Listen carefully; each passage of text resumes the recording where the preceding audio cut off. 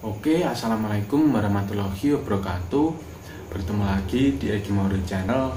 E, seperti biasa, sebelum melanjutkan video ini, alangkah lebih baiknya klik tombol subscribe-nya terlebih dahulu, e, karena satu subscribe dari kalian ini sangat berharga sekali untuk e, perkembangan Egi Mauri Channel.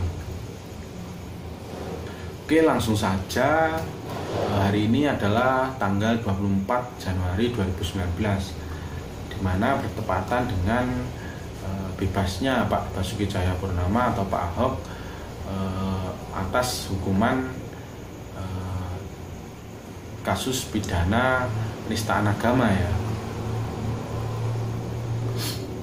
Dan di sini Egi Channel akan membahas ke manakah Pak Basuki Cahayapurnama atau Pak Ahok ini meneruskan karir politiknya.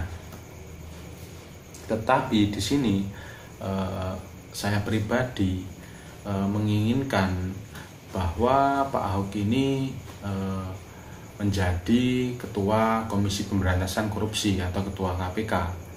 Karena Pak Ahok ini adalah salah satu tokoh atau pemimpin yang uh, bersih ya, yang apa, transparan, yang berani dalam menindak kasus korupsi. Uh, seperti yang uh, kita lihat kemarin saat beliau memimpin DKI Jakarta sebagai gubernur.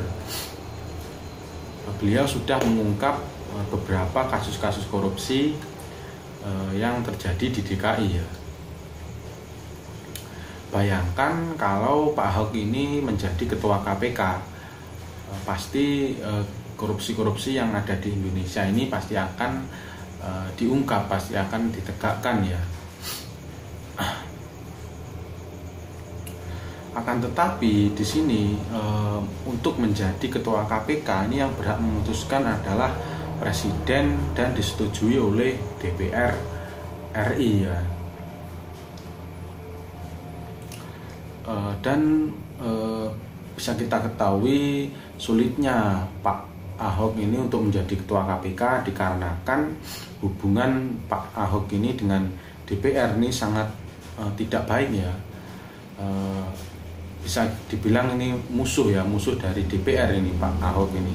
Jadi tidak mungkin sekali Pak apa DPR menginginkan Pak Ahok sebagai ketua KPK karena akan menjadi blunder buat mereka sendiri. Jadi eh, sangat sulit sekali atau kemungkinannya sangat kecil jika Pak Ahok menjadi ketua KPK. Ya di sini eh, salah satu letak kesalahan eh, bangsa Indonesia ini untuk eh, menentukan ketua KPK eh, dipilih oleh presiden dan disetujui oleh DPR. Karena yang diawasi oleh KPK eh, ini adalah DPR dan presiden dan apa di bawah presiden di bawah DPR. Eh, selagi itu yang memilih KPK eh, adalah DPR sendiri dan presiden sendiri jadi bisa kita simpulkan bahwa eh, yang menjadi ketua KPK ini bisa bisa saja adalah orang-orang dari presiden atau orang-orang dari DPR ya seperti itu. Jadi eh, sangat sulit sekali jika hukum eh, tindak pidana korupsi ini ditegakkan di Indonesia ya karena ya ketuanya saja ketua komisi pemberantasannya saja adalah orang-orangnya sendiri, orang-orangnya apa temannya sendiri atau apa orang yang bekerja sama dengan orang yang diawasi seperti itu. Jadi ya kita doakan saja agar Indonesia bisa maju dan oh, bebas dari korupsi ya. Ya sekian dulu yang bisa Egi Channel sampaikan.